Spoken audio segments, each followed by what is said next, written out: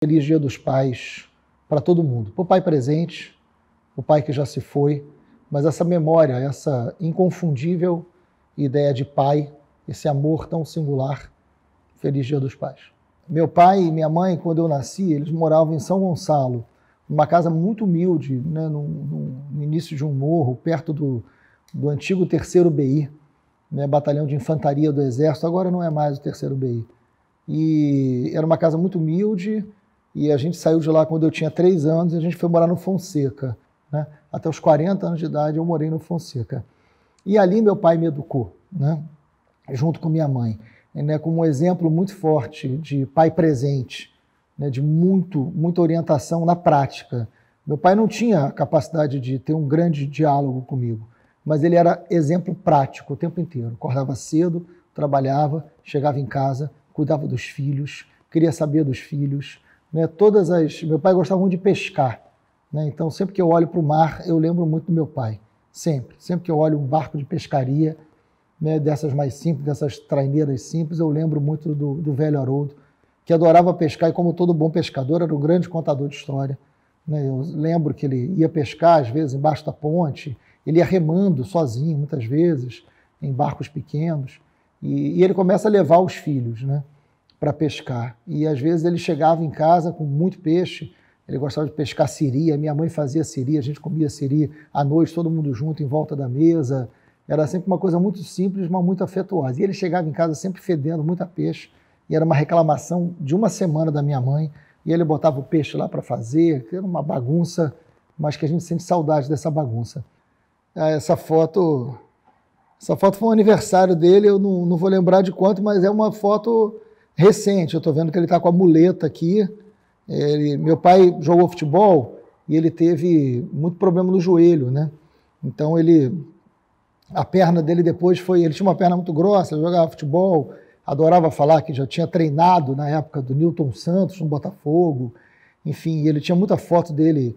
Ele contava, eu amava chegar à noite antes de dormir e ele me contava as histórias dele. Ele jogou num time chamado Onze Rubro e aí ele foi artilheiro. Aí a final do campeonato, ele quebrou o nariz e ele continuou no jogo e bateu o pênalti decisivo com o nariz quebrado. Até hoje eu não sei se essa história é muito verdadeira, mas enfim, eu adorava ouvir essas histórias do seu Haroldo, que eram histórias que envolviam futebol e um certo heroísmo de pai, que todos nós queremos ter pai herói sempre, né? E, e eu ficava ali ouvindo atenciosamente. Eu pedia para ele me contar, ele contava as mesmas histórias, porque eu adorava, adorava Aqui uma outra foto, ele já, ele sempre sentado pela dificuldade já da perna, né? Mas minha mãe e meu irmão Guilherme com ele, ele, ele sempre fazia essa cara séria. Ah, essa foto outra é maravilhosa, ó. Eu criança aqui, ele, ele bem mais novo, vocês podem ver que ele tinha um, um porte físico bacana, né? Ele era baixo, mas ele era ele era ele jogou bola muito tempo, assim, sempre com esse relógio que ele adorava uma bermudinha, sandália. Aí meu irmão Guilherme, pequenininho, caçula aqui no meio, eu e meu irmão Renato. Está aqui muito magrinho, sempre foi muito magrinho o Renato. Depois o Renato fez capoeira, ficou forte. A gente está no a gente está no Horto de Niterói, que fica no Fonseca. O Horto de Niterói é, tinha um zoológico nessa época. Depois esse zoológico acabou, porque as condições que os animais ficavam ali realmente não eram boas. Mas eu, quando era criança, amava visitar esses zoológicos. Tinha leão, macaco, jacaré, cobra. E imagina, e, e ficava a, a, menos de um quilômetro da minha casa, a gente ia andando, claro. Uma vez por mês, meu pai tentava me levar na Quinta da Boa Vista. E até hoje, gente, quando eu passo na Quinta da Boa Vista, eu tenho uma memória afetiva tão boa que a gente ficava naquela grama ali, comprava uma bola, ficava brincando na grama e bastava isso. E a gente ia de ônibus para Quinta, pegava a barca, pegava outro ônibus, descia ali em São Cristóvão a gente adorava, amava. E a gente chegava em casa, ficava contando para minha mãe tudo que a gente tinha visto. Enfim, esse meu irmão aqui do, da ponta, o Renato, ele era o irmão do meio.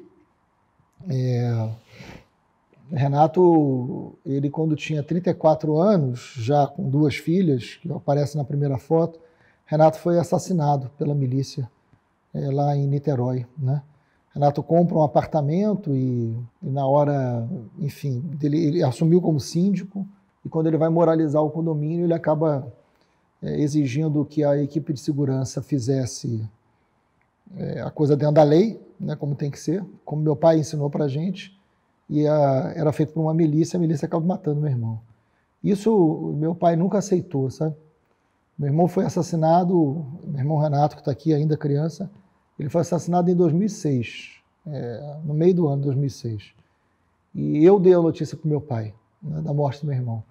E foi a pior coisa que eu fiz é, na minha vida, assim, a mais dolorida situação da minha vida, assim, quando eu tive que falar para o meu pai que o filho dele, que um filho dele tinha sido assassinado. O primeiro disse que ele morreu, né? Eu não tive a coragem de dizer para ele que o filho tinha sido assassinado no momento inicial.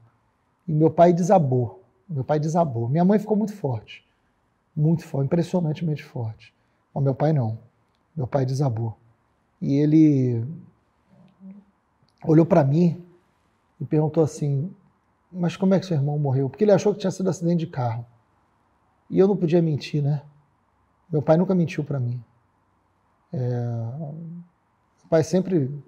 Eu aprendi com meu pai a importância da palavra. Né? Meu pai falava para mim: é... Eu não vou deixar nada para vocês material, porque ele achava que isso era importante, mas meu pai veio de aluguel, nunca teve carro, é uma pessoa muito humilde.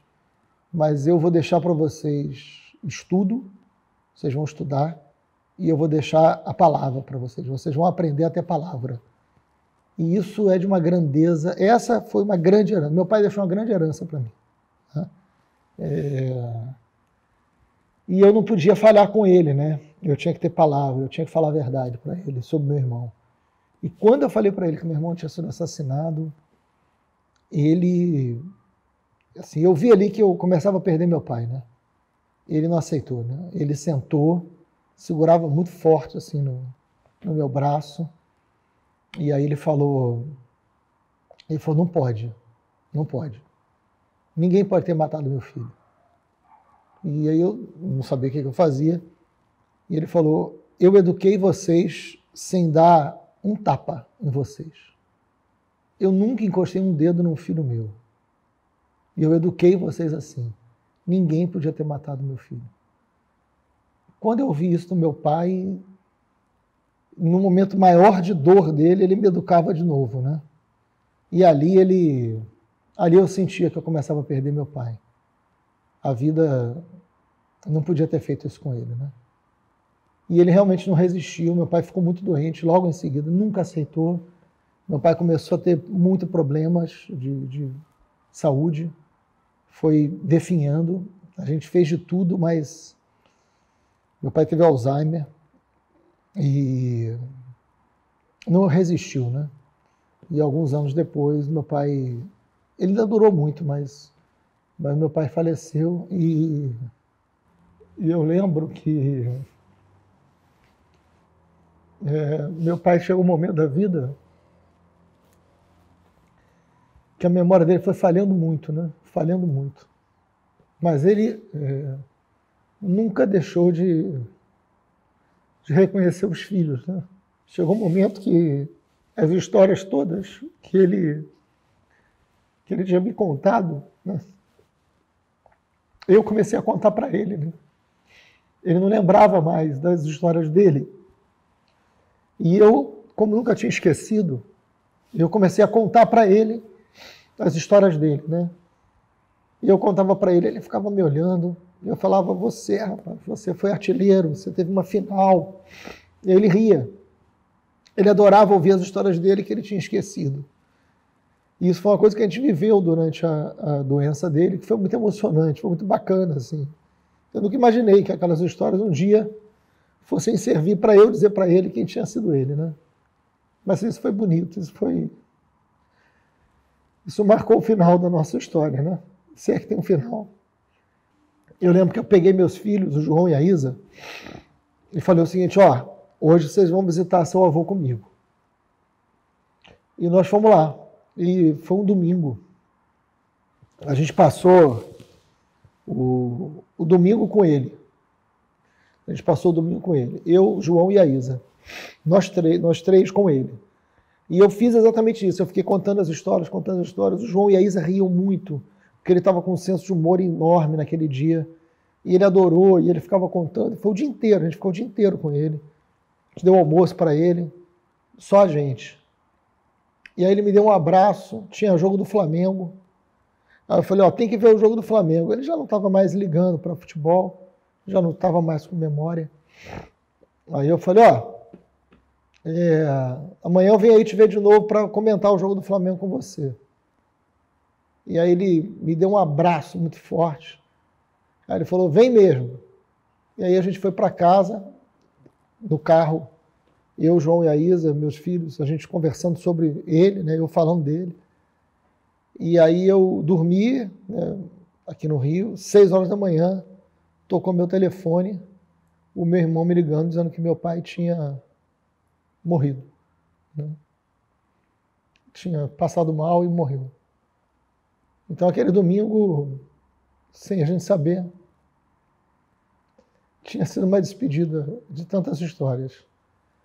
Mas é assim, como a gente está num momento onde tanta gente perdeu o pai, eu estou chorando aqui de emoção, não estou chorando de tristeza. Não. A vida foi. A minha vida com meu pai foi. Eu tenho só que agradecer. Assim. Foi muito bacana. E ainda bem que a gente viveu naquela simplicidade toda, assim, porque isso ajudou meu pai a ser quem ele pôde ser para mim. Então, eu acho que quem tem aí o pai vivo, aproveita abraça muito, conversa muito. Bom, essa é uma essa é uma homenagem ao Dia dos Pais que, que é emocionante mesmo, assim, que a gente chora, que a gente ri. Durante a vida do meu pai eu dei muita gargalhada e agora lembrando da alegria eu choro, choro de saudade, é, mas não é de tristeza, é, porque a gente viveu tudo que tinha que viver. Então eu queria fazer uma homenagem muito fraterna, assim. A gente vive um momento muito difícil no Brasil muito difícil, um momento muito duro na história do Brasil. Então, que esse Dia dos Pais seja um momento de energia, que esse Dia dos Pais seja um momento de amor, de reafirmação do amor, de reafirmação da solidariedade, de um carinho tão singular como é o carinho de pai para filho. Né? Que quem tem pai abrace, que quem tem filho abrace. E que a gente faça dessa energia de pai e filho uma energia para mudar o país. Né? Então, a todos os pais, um beijo imenso no coração de vocês obrigado pelo quanto ser bom pai faz o mundo ser melhor. E a gente está no momento que a gente tem que fazer o mundo ser melhor.